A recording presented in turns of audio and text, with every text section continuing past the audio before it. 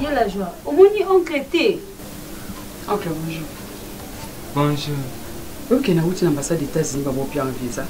Quoi? Visa eza te. Pona? Oncle, ba dossier na ngai eza ya moniato.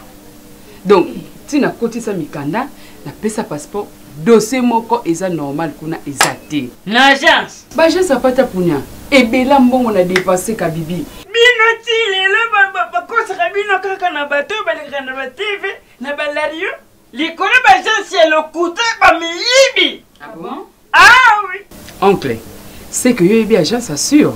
Agence na Congo na Kinshasa oyo eza mm, moko. Service visa. Let's go. Tozo sunga bato nyonso oyo baza na posa ya visa ya Canada, Cuba, Turquie, États-Unis, Schengen na oyo nyonso natangi te bopusana mpo ba offre eza ebele. Toza awa na bourse d'études so oza na mposa mwana avoyageaki kotanga libanda mboka yaka awa tokosepelisa awa biso na service visa na ngonga moke ozwi visa na yo ovoyage ya biso erataka te tozo continue kobeta bango gauche droite gauche droite ntangi